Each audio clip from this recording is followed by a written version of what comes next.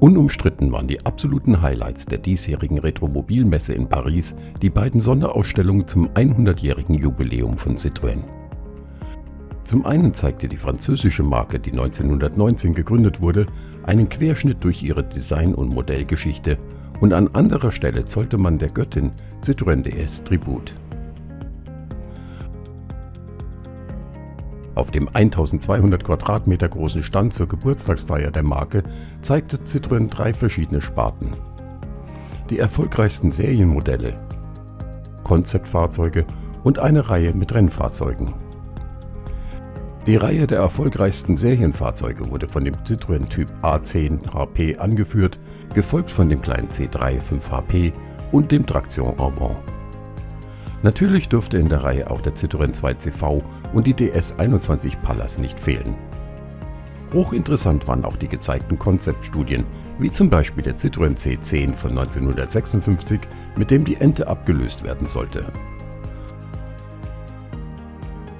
1972 stellte Citroën den GS Camargue auf dem Genfer Automobilsalon vor. Ein Konzept zu dem späteren Modell BX. Sehr futuristisch wirkt das Konzept Karin, das 1980 auf dem Pariser Automobilsalon als Prototyp für den CX-BX vorgestellt wurde. Die Show der Konzeptfahrzeuge führte bis in die Neuzeit und zu sehen gab es noch den Activia 1, Xanier, Osmose und Experience. Bei den Rennfahrzeugen zogen die Rennfahrzeuge Petit Rosalie und der Scarabée d'Or Aufmerksamkeit auf sich. Legendär auch der Citroën 2CV Raid Afrique. Bei der Sonderausstellung zu dem Thema Citroën Chaperon in allen Varianten waren zahlreiche Karosserieformen der DS-Modelle zu sehen. Sonderkarosserien von Chaperon in unterschiedlichsten Formen wurden sich gegenübergestellt und so konnte man die einzelnen Details wunderbar erkunden.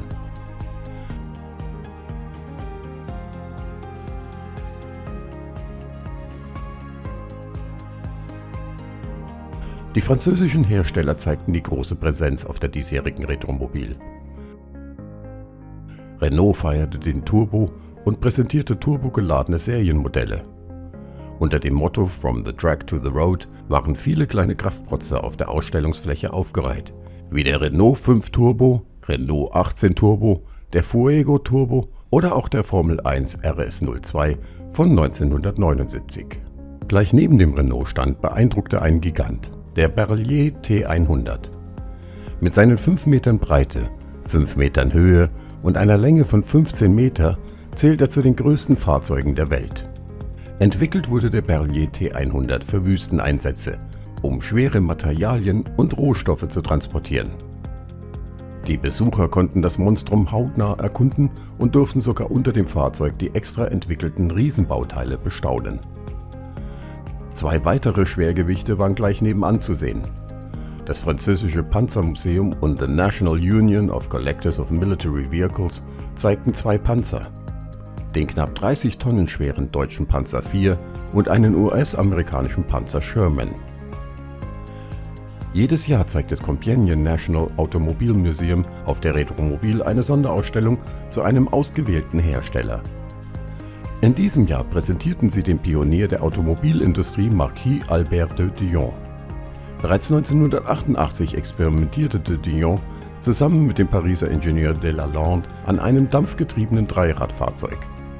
Bereits 1890 hatte de Dion eine gut laufende Firma für Dreiräder und Fahrzeuge mit Einzylindermotoren. Das erste benzingetriebene Motorrad war der de Dion Vis-à-vis-Wagen von 1899. Die Historie der Marke wird durch weitere Modelle aus der Zeit zwischen 1900 und 1907 ergänzt. Im Mittelpunkt ein Fahrzeug, das erst einmal den Besucher irritiert, da ein modernes Fahrzeug inmitten der Urväter des Automobils steht. Der Lamborghini Flying Star 2 von 1966. Ein Highlight aus der Designhistorie Lamborghinis. Er leitet die Ära des sogenannten Shooting Station Wagens ein, der sportlichen Fahrzeuge mit funktionalem Kombiladeraum.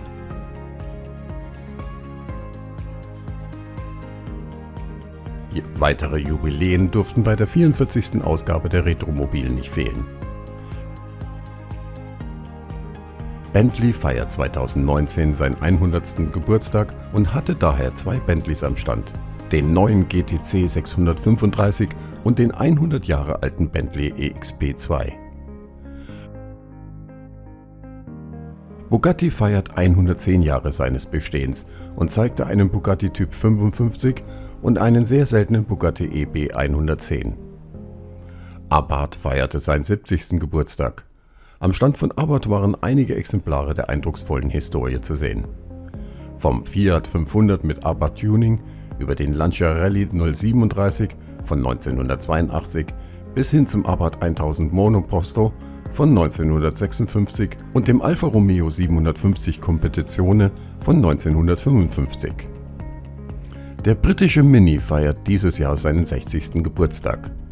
Das National Motor Museum of Bewley und das Heinz International Museum hatten aus diesem Anlass eine große Ausstellung für die kleine Legende organisiert.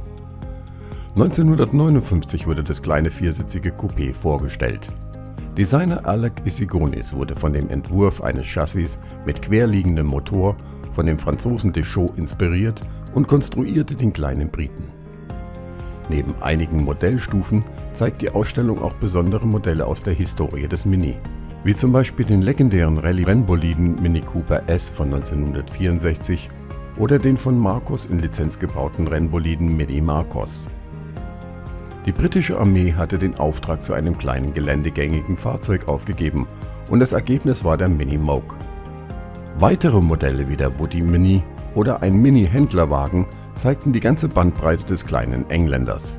Immer wieder eine Überraschung sind die Sonderausstellungen zu bereits vergessenen Marken auf der Retromobil. In diesem Jahr war es die französische Marke Bedelia. Robert Bourbeau und Henri Devaux, Studenten am Pariser Institut für Elektrizität und Technik, hatten 1907 mit ihrem Motorrad einen Unfall. Da sie beinahe mittellos waren, konnten sie den Schaden am Motorrad nicht reparieren lassen. Daher bauten sie ein Tandemgefährt aus den Materialien, die sie zur Hand hatten. Als Antrieb diente der Motor aus dem verunglückten Motorrad. Der Fahrer saß hinten im Fahrzeug und der Beifahrer vor dem Fahrer im Tandemsitz. Das Fahrzeug war so einfach in seiner Form und in seiner Funktion, dass es bald großen Zuspruch fand und die Nachfrage wuchs. Ab 1908 begannen die beiden Techniker ihr sogenanntes Cycle Car in Serie zu fertigen. Rund 3000 Fahrzeuge wurden von diesen einfachen Modellen gebaut. Heute existieren noch rund 18 Modelle. Auf der Retromobil wurden 14 Fahrzeuge der Marke gezeigt. Bedelia-Fahrzeuge wurden während des Krieges auch als Krankenfahrzeuge eingesetzt. Am Stand eines französischen Automobilclubs waren noch weitere Exemplare ausgestorbener Marken zu finden. Darunter ein Lafitte Voiturette von 1923. Die französische Marke existierte nur fünf Jahre lang und baute Kleinstfahrzeuge mit einem Dreizylinder-Sternmotor. 1925 begann die Produktion der französischen Marke Micron. Die einsitzigen Fahrzeuge hatten eine Besonderheit. Sie waren frontgetrieben und der wassergekühlte Motor war so mit der Frontachse verbunden, dass die gesamte Achse mit der Kühlerfront und Getriebe eingelenkt werden konnte für großes Aufsehen sorgte der Lancia Stratos HF Zero, der an dem Stand des Automobilmuseums Turin zu sehen war. Gleich daneben waren an einem Clubstand zwei sehr seltene Hotchkiss Grégoire zu bewundern. Auch Motorradfans kamen auf ihre Kosten. Auf rund 400 Quadratmetern wurde die französische Motorradmarke Gnome Aeron präsentiert, die ebenfalls ihr 100-jähriges Bestehen feiert.